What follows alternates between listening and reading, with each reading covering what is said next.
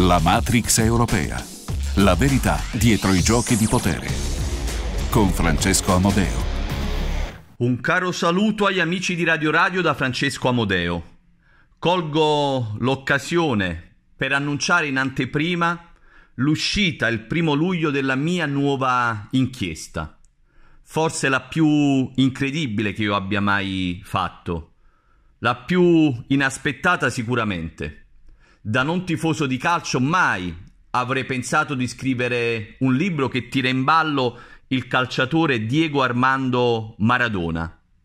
È un libro dove non si parla di calcio, ma è la prima inchiesta giornalistica al mondo per far luce sui possibili mandanti politici e sugli esecutori degli attacchi che hanno compromesso la carriera sportiva e la vita di Diego Armando Maradona un dossier dettagliato dei suoi rapporti strettissimi con il presidente cubano Fidel Castro e con il presidente venezuelano Hugo Chavez e con gli altri presidenti sudamericani non allineati alle politiche imposte dagli Stati Uniti.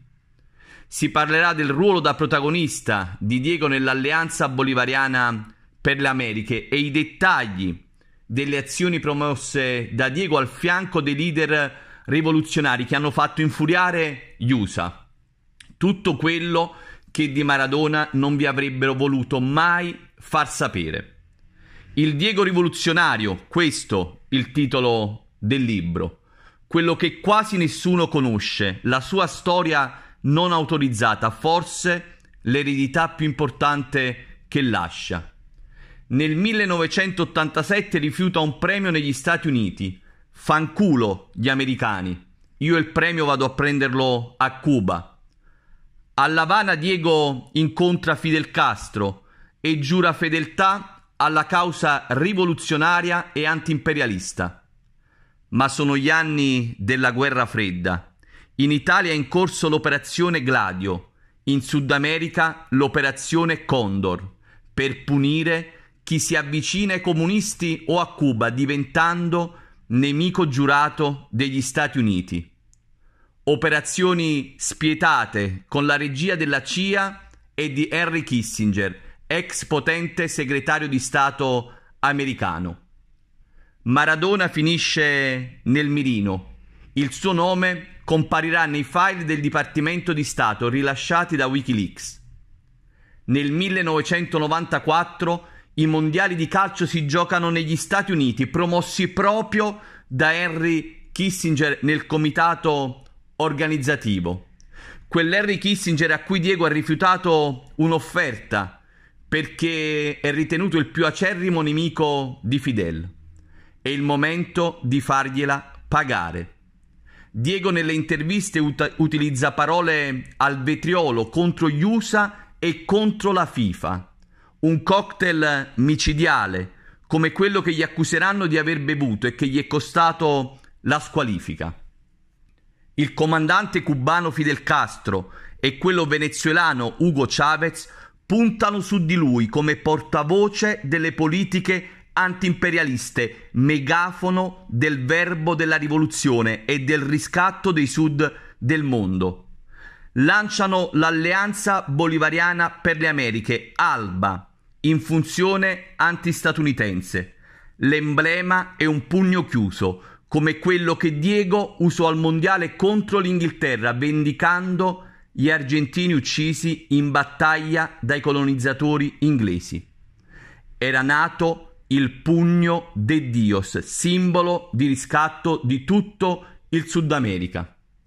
Diego fu spesso il trade union dei presidenti socialisti di quei paesi, con loro nel 2005 diviene addirittura il macchinista del treno dell'Alba che porta migliaia di persone a Mar del Plata per affossare l'Alca, il trattato di libero scambio che Bush voleva imporre per colonizzare il Sud America.